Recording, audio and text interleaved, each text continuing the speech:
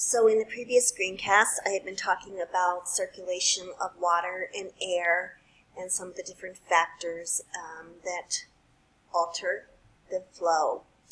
So now I just want to briefly take a look at something that happens on the west coast of the United States, in California specifically, and it's called a rain shadow. So you have warm ocean water followed by a beach, and then a gradual slope upward, which turns into a mountain.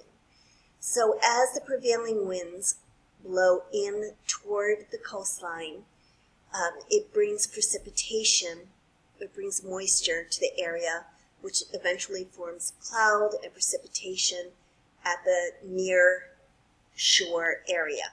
But as that air moves up the mountain, it dries and it gets colder and it dries, and so the air on the far side of the mountain is arid, which means very dry, and then you have a desert here. So an example of that, if you've ever read the book or seen the movie, is Wild, which Reese Witherspoon was in. And I'm not recommending it as a novel. Uh, it's based on a true story, um, but it was interesting. It was a woman who decides to go on a hike up the Pacific Crest Trail. And she begins in the Mojave Desert, so it's very hot and dry. And she continues on going through the Sierra um, Nevada mountains where she's suddenly in a snowstorm. And anyway, her trail continues on all the way up to the border with um, Oregon and Washington State.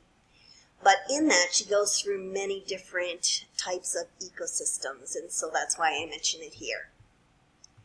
Okay, so now we're looking at what forms terrestrial biomes and its variation in climate, which remember means temperature and precipitation, which determines the dominant plant growth forms and then therefore all of the other organisms in the, in the biome.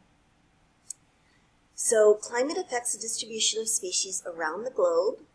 Organisms have distinct growth forms due to adaptations to local temperature and precipitation patterns, and these form biomes or biological homes in which the presence of similar plant growth forms in an area which possesses simple, similar temperature and precipitation patterns occur. So bottom of the pyramid here climate, which is temperature and precipitation. Then the next layer up is the presence of similar growth forms, for instance, a succulent plant in a desert versus um, a plant with pine needles or needles in a cold area to broadleaf plants in moderate areas. And then above that, um, the different organisms that depend on that type of plant. So terrestrial biomes can be divided into nine basic categories based on temperature and precipitation. So looking here at temperature going across, we have temperatures that are very cold because the biome is located near one of the poles or because the biome is located at high altitude. Then we have temperate, which would occur at a mid-latitude region, um, which would be something like we experience here in New England. And then there's tropical, which is very warm, greater than 68 degrees Fahrenheit on average. So Florida would be considered tropical, but if, uh, excuse me, subtropical, but if we were going to simplify it just into these three, you could add Florida into the tropical region. And then in addition to being based on temperature, going downward, we have variations in precipitation, Deserts, very little um, rainfall, therefore very little and very specialized vegetation, very fragile ecosystems, and typically um, low species diversity. Then we have moderate precipitations, which uh, form grasslands, and that often occurs in the interior of continents. And it's usually not so much tall trees for sure or shrubs, more grasses and that kind of thing uh, because of the seasonal drought. But it is a good area for grazing animals. And last we have forests, which are lands dominated by trees. They can be warm forests like tropical rainforests, uh, cold forests like boreal forest in Canada, and everywhere in between.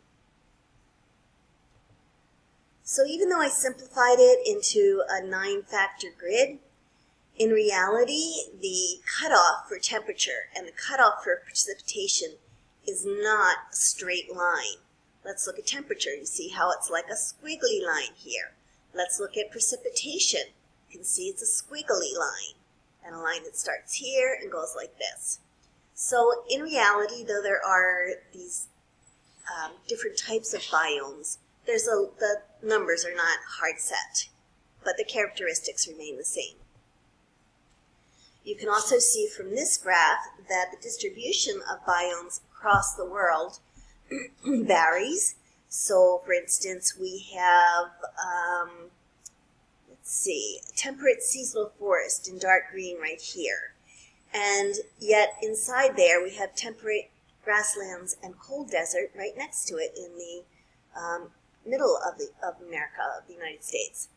And this is temperate because of the water factor, which we've talked about, the heat capacity, helping to maintain more temperate temperatures um, through this region and drier areas back here. All right, so let's look at each of the different biomes. First, we have a tundra. It's very cold and very treeless. There is some low-growing vegetation, and in winter, the soil is completely frozen, and that's known, that frozen soil that underlies the subsoil is known as permafrost, because it was thought to be permanently frozen and impermeable. So when the warming season occurs and some of the um, less frozen soil at the, at the very top, at the topsoil, melts, the water will be able to support low growing vegetation. And it will be stopped from draining further into the soil because of that impermeable permafrost or permanently frozen soil layer. Unfortunately, it's not really um, so permanent anymore with global climate change and in particular global warming. Some of the permafrost has begun to melt. For people, that's been an issue because um, many structures, including oil pipelines, are anchored into the permafrost. And so when they melt, um, and the pipeline is no longer anchored, there's a risk of a spill. Um, ecologically, it's also a problem for the plants because if the permafrost does not hold and the water drains, there would not be eventually enough water to maintain that low growing vegetation. Okay, another biome, uh, terrestrial biome, is the boreal forest and that contains mainly coniferous trees, evergreen trees. So those are trees that bear uh, cones, pine cones, for example, and have needles. Le their leaves are needles. And having the very narrow leaf allows it to um, contain the heat, so it doesn't lose all the heat to the atmosphere, and therefore they can um, grow, but broadleaf trees cannot. So these have cold winters and short growing seasons, and they're found relatively far north in latitude, 50 to 60 degrees north, and you can see they are across Canada and let's see, where's that? Here we go, across Canada, and you can see a little bit across here in a little bit in Europe, a little bit in Russia, um, going across all of that same latitude. And so that, that biome is, would be considered subarctic. It's very cold, and plant growth is constrained by temperature, but it's not as constrained by precipitation. If it was constrained by precipitation, we wouldn't have the trees, we'd have low-growing vegetation. But it is constrained by the cold temperatures. Also, the soil is poor in nutrients because um, at these cold temperatures, decomposition takes place slowly. So most of the nutrients are in the trees themselves, not in the soil. The next biome is a temperate rainforest. So temperate rainforest, temperate means moderate, rain means there's going to be a great deal of precipitation, and forest means that there will be trees. So we have a moderate temperature and high precipitation coastal biome. And being a coastal biome is what helps to moderate the temperature here. Um, and this supports the growth of very large trees like sequoias. Next we have the biome that we live in, and that's a temperate seasonal forest. Temperate, again, moderate, seasonal, so we have leaves on our trees during the summer that then um, turn to turn color and then fall off during the winter. And so this type of forest is found in the eastern United States and also portions of Europe, China, Japan, um, and even Chile and eastern Australia. So little bits all over. So it is dominated by a type of tree. You should know the name of this. I'm sorry it's not in green, but a broadleaf deciduous tree.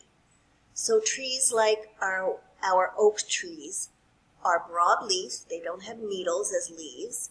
And they're deciduous, which means that once the summer is over and it's no longer efficient energy-wise for the tree to continue doing photosynthesis, the tree sheds its leaves and stops doing photosynthesis for the winter. Um, then when the summer um, comes around again, it's relatively warm and that favors decomposition, so soils contain a lot of nutrients, or certainly more than boreal forests. So you'll have leaf litter, you'll see um, little bits of rich material, organic material at the base of the trees in this type of forest. So let's wrap this up here with one little fun fact about temperate seasonal forests. So these leaves are green in the summer because of a pigment known as chlorophyll, which is the pigment which facilitates photosynthesis.